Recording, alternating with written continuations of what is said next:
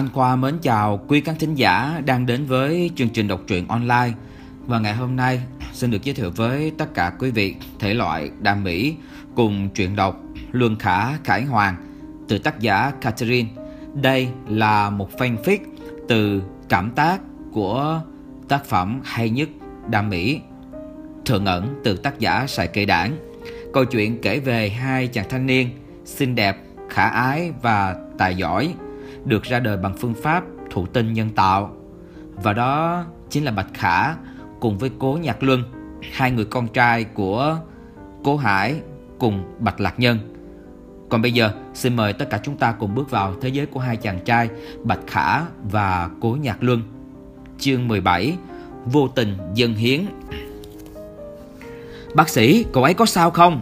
Quách Khải sau khi được Cố Nhạc Luân vào kiểm tra thì lập tức đi hỏi tình hình. Vết thương khá sâu, còn có dấu hiệu bị đâm xuống hai lần. Chúng tôi sẽ tiến hành mai vài mũi cho cậu ấy. Ở băng ghế bên ngoài, tâm tình Quách Khải như đang ngồi trên đống lửa. Cho dù chỉ ở cạnh nhau, thời gian không kể là dài, nhưng tiểu gia hỏa này ngày nào cũng hoạt bát, tươi mới, liếu la, liếu lo, bên tay hắn khiến cho cuộc sống buồn tẻ xưa giờ của Quách nhị thiếu gia trở nên phong phú hơn. Cho nên đối với Quách Khải, việc bảo vệ nụ cười và sự tươi vui trong tâm hồn của Cố Nhạc Luân cũng là có lợi cho bản thân hắn. Hôm nay, trong bóng tối, hắn vẫn có thể nhìn rõ ánh mắt sợ hãi của Cố Nhạc Luân khi cậu nhìn thấy vết thương trên cánh tay mình. Ánh mắt đó đến bây giờ vẫn ám ảnh trong đầu Quách Khải, hắn tuyệt đối không muốn chứng kiến lại lần thứ hai. Tôi không sao đâu, sau khi xử lý xong vết thương, Cố Nhạc Luân nằm trên giường bệnh an ủi ngược lại Quách Khải. Vì biểu tình của người này đúng nghĩa còn xấu hơn mây đen, muốn về khách sạn hay muốn ở lại đây? Cố Nhạc Luân cực kỳ nhanh miệng, khách sạn, tôi rất sợ phải ở trong này. Quách Khải sai người đi thu xếp, đồng thời gọi bác sĩ gia đình đến chờ sẵn. Một đường ôm tiểu gia hỏa đặt lên vai. Được rồi, chúng ta trở về. Cố Nhật Luân bình thường bị tên này trêu ghẹo riết quen, hôm nay thấy hắn đặc biệt nghiêm túc cũng không có cách nào lý giải được, chỉ còn biết ngoan ngoãn nghe tao hắn mà thôi. Thật vô dụng mà. Chưa điều tra được đã bị thành ra nông nổi này rồi. Khi họ về đến khách sạn, Cố Nhật Luân trực tiếp được đặt lên giường. Bác sĩ Quách Gia cũng đã có mặt xem qua tình hình vết thương rồi mới kê thuốc. Cậu ấy không sao, một thời gian sẽ khỏi, chỉ là trong lúc này đừng để lại bị thương. Quách Khải hướng bác sĩ gật đầu, được rồi, phiền bác sĩ mỗi ngày mỗi đến. Sau khi tiễn bác sĩ về, Quách Khải đuổi hết người ra khỏi phòng, một mình leo lên giường, cẩn thận mà ôm cố nhặt luân lại. Cậu đã chia tay người kia chưa? Sao hôm nay là hỏi vấn đề này? Cố nhặt luân khó hiểu. Chưa, từ hôm ở đây với anh tôi không có liên lạc được với cô ấy. Số điện thoại thì sao? Quách Khải vuốt vuốt tấm lưng hắn. Cố nhặt luân cảm thấy hơi thẹn, vùi mặt vào gần ngực Quách Khải. Tôi không biết. Quách Khải buồn cười, Đến số điện thoại còn không biết nữa. Vậy mà dám la làng rằng Tôi đây có bạn gái à Còn là hoa khôi nữa. Còn phải nhanh chóng chia tay đi. Quách Khải giọng điệu cực kỳ ôn nhu. Tại sao? Cô Nhật Luân hỏi. Quách Khải đưa tay, kéo cầm hắn, hướng mắt. Hắn rồi nhìn thẳng mình. Còn phải độc thân thì mới có thể đường đường chính chính thuộc về tôi. Ai thuộc về anh bị điên hả? Có nghe rõ chưa? Lực đạo ở cầm càng siết chặt. Đau chết tôi. Cố Nhật Luân phản kháng. Cái gì mà thuộc về anh? Tôi không hiểu cái gì hết. Tôi thích em. Nói ra rồi. Quách Khải rốt cuộc là nói ra rồi. Cố Nhật Luân thật cũng không biết trong lòng mình nghĩ gì. Nếu là lúc trước cậu chắc chắn sẽ đạp cho vài đạp, Sau đó hung hăng mà cự tuyệt. Nhưng sao bây giờ lại có cái cảm giác chần chừ không dứt khoát? Chúng ta chúng ta thật rồi. Nếu giới tính là chướng ngại lớn nhất đối với em, Thì em hãy nghe tôi nói. Quách Khải nghiêm túc. Tôi từ trước đến nay chưa hề động tâm với ai. Từ, trừ khi gặp em, tôi mới biết thế nào là cuộc sống có thêm ái tình sẽ rất thú vị. Em từ trước đến nay đã từng động tâm với ai chưa tôi không hề biết. Nhưng nếu em cảm thấy ở bên cạnh tôi thoải mái và an toàn, thì hãy tiếp tục cho tôi cơ hội được chăm sóc em. Là nam hay là nữ không quan trọng quan trọng là người đó, mang lại cho em cảm giác rằng em muốn ở cạnh người đó lâu dài. Em hiểu ý tôi chứ? Cố nhặt luân hiểu, Như có, như không hỏi. Vậy nếu sau này tôi trở về, Có cái cảm giác với nữ nhi? Vậy tức là bây giờ em đang có cảm giác với tôi. Quách Khải cực kỳ, biết nghe trọng điểm mà. Ai nói chứ? Cố nhạc luân, thẹn quá, hóa giận. Tôi sẽ thử khảo nghiệm lại bản thân. Tưởng xem tôi có cảm giác với anh không rồi mới trả lời anh sao? Thật ra là có à. Con người thường biết đáp án của mình ở 6 giây đầu tiên khi sự việc được nêu ra. Chỉ là họ có dễ dàng thừa nhận nó hay không mà thôi. Quách Khải vẫn ôm nhu, ôm người vào trong lòng. Được, tôi đợi em. Cố Nhạc Luân lúc đã liềm diêm muốn ngủ, đột nhiên lại nghe Quách Khải ở bên tai thì thầm, Sau này nếu có chuyện gì cứ nói thẳng với tôi, Không quá phận tôi sẽ đều trả lời cho em biết. Không cần cứ tìm cớ, Kéo tôi đi đến nơi xa lạ, Nếu từ đầu không chiều theo em Thì đã không bị thương như vậy rồi. Cô Nhật Lương cảm thấy sống mũi, hơi chua.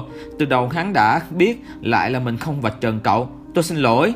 Xin lỗi cái gì? Em không sao là tốt nhất. Quách Khải đùa giỡn với những lọn tóc của cậu. Em rốt cuộc Có gì muốn nói với tôi không? Không Cô Nhật Lương ấp úng. Chỉ là muốn hỏi anh về cảnh tiểu thư. Quách Khải phút chốc trùng xuống. Em muốn nhanh chóng giải quyết Rời khỏi Rồi uh, đi khỏi tôi đúng không? Không phải anh hiểu lầm rồi. Cô Nhật Lương cũng không hiểu vì sao mình lại vội vàng đính chính.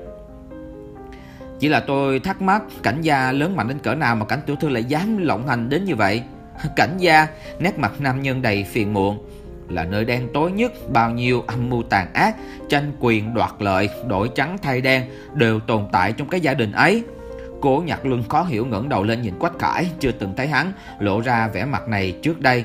Ai cũng cho rằng tôi được Hiên Nhi để mắt tới là phúc bốn đời. Quách Khải vừa nói vừa vỗ về tấm lưng của Cố Nhạc Luân, nhưng bản thân tôi lại không nghĩ vậy. Lọt vào cảnh gia cũng chính là lọt vào vòng xoáy đen tối của tiền và quyền lực. Tôi không quen cuộc sống như vậy, huống hồ tôi cũng không thích cô ta nữa. Cố Nhạc Luân bắt đầu nhớ lại những gì Bạch Khải hỏi, anh đã từng đến cảnh gia chưa? Quách Khải nói, đã từng, ba tôi là bạn cũ của cảnh phát, ngoài gia đình tôi ra thì trên thương trường rất ít người có thể đặt chân vào nhà họ cảnh, nhưng chung quy tôi không thích đến đó, nên rất hiếm khi đi. Anh không quen ai trong gia đình đó ngoài cảnh tiểu thư à? Quá hợp lý để hỏi câu này. Cảnh hoàng... Uh... Tên nhân vật này rốt cuộc cũng được tiết lộ Con trai lớn của cảnh phát Anh ruột của Hiên Nhi là bạn thân của tôi nữa bạn thân Cô Nhật Luân thắc mắc Không phải anh nói gia đình đó rất đáng sợ sao Quách Khải không nói rõ, Chỉ đại khái biểu đạt bên trong cảnh gia, Cảnh hoàng là ngọn đèn duy nhất Cố Nhật lương không hỏi nữa Vì nếu còn hỏi chắc chắn sẽ bị bại lộ rằng cậu cố ý khai thác Cho nên đã ngoan ngoãn nằm trong lòng Quách Khải ngủ say sưa. Qua ngày mai Cố đại thiếu gia lợi dụng việc mình bị thương không đi theo Quách Khải làm việc mà ở nhà gọi điện thoại cho em trai. Tiểu quái anh đã hỏi hết cho em rồi đó. Giọng điệu vô cùng tự đắc, không sót thứ gì. Bạch Khả cũng bất ngờ. Hiệu quả như vậy à? Đương nhiên Cố Nhật Luân một mạch kể hết những gì mình biết cho Bạch Khả. Bạch Khả lần này thật phải chào thua anh trai ngốc rồi. Đúng là đã hỏi minh bạch tất cả. Tốt lắm Bạch Khả tán dương. Đây là lần duy nhất từ trước đến giờ. Em vừa khen anh sao?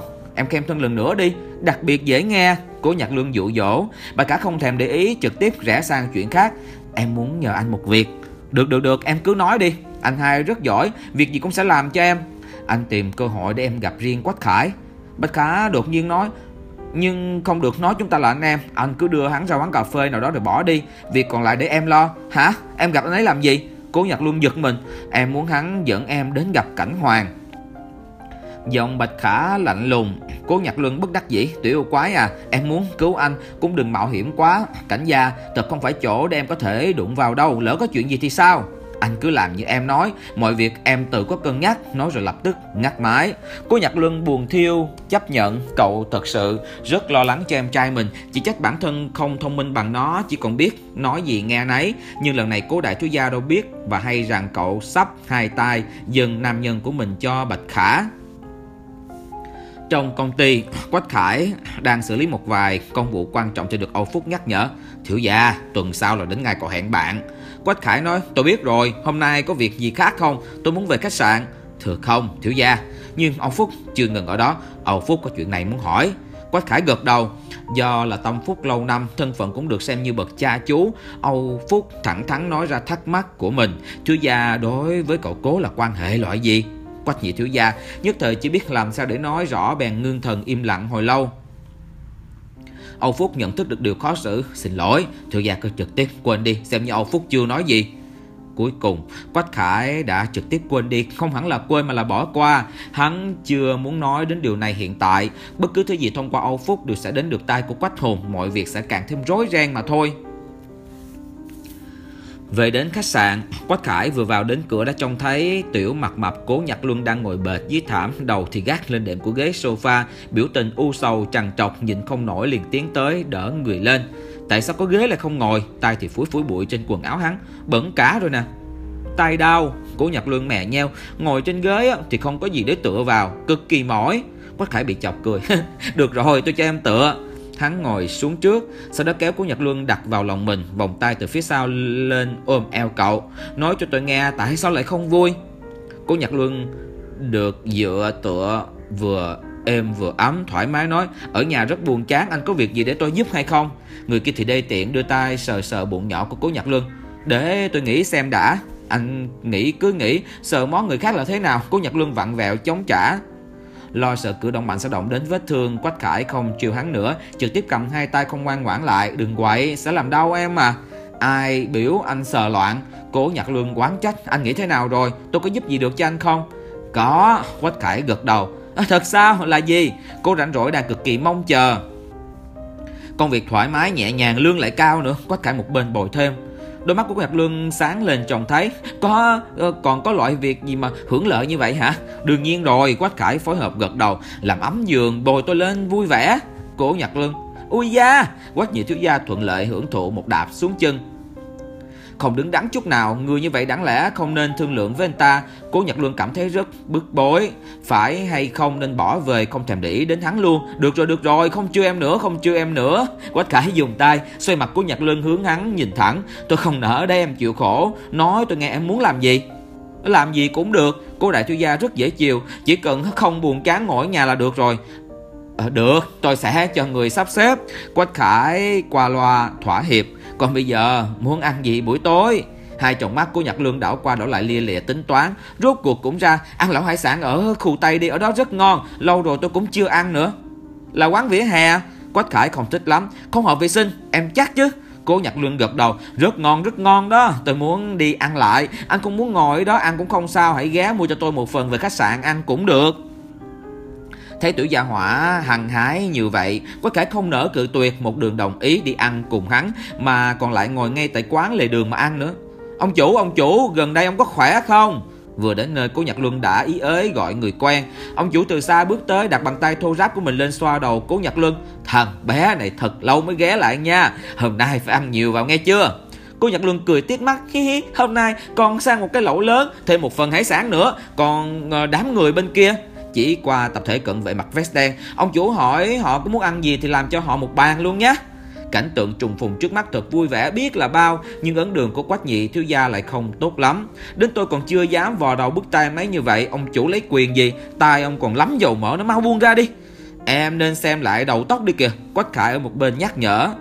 Cô đại thiếu gia tâm tình tốt, Tiếp tục nhoẻn miệng cười thật tươi. Không sao không sao mà tóc dơ còn có thể gọi. Cái xoa đầu này là nếu không có thì chứng tỏ tình cảm không sâu. Em thì cần gì tình cảm sâu nặng với lão ấy? Quách Khải buồn bực. Cố Nhật Luân bụng miệng cười. Đừng nói anh ghen đó chứ, Quá trẻ con rồi đi. Tôi đặc biệt, được nhiều người thích. Thiếu gia gì đó à Tương lai anh còn phải chịu dài dài đó nha. Quách Khải không thèm nói gì nữa, dù có rộng lượng như thế nào tận sâu trong máu của Quách Khải vẫn là một công tử con nhà quyền quý, quả thật hắn không quen cái cảnh ăn uống lề đường giao du cái kiểu xuồng xả như vậy.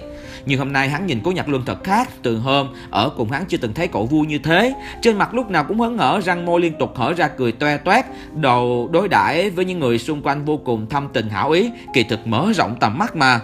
Em rất thường ăn ở đây hả? Quách Khải tò mò hỏi.